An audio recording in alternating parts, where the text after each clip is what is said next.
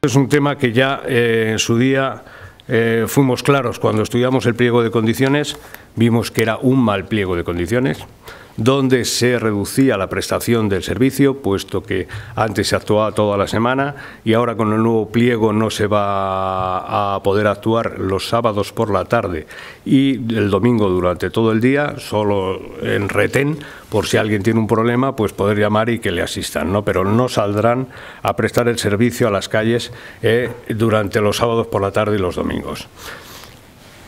Reducimos el servicio y si hacemos un estudio económico de lo que es ese pliego de condiciones, vemos que encima eh, nos va a costar más dinero a las arcas municipales.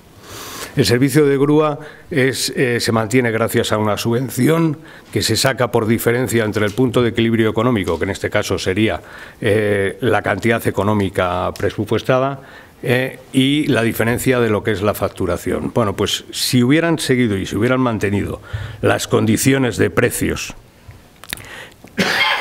a los que se estaba trabajando en el servicio de retirada de vehículos eh, y teniendo en cuenta según las declaraciones que han hecho determinados eh, técnicos municipales, donde el número de recogidas se va a reducir en este año en un 19%, pues veríamos que lo que es la subvención hubiera aumentado de 131.000 euros que pagamos en el año 7, último año liquidado, o sea, el año 2011-2012, subiría a 145.000, 14.000 euros más.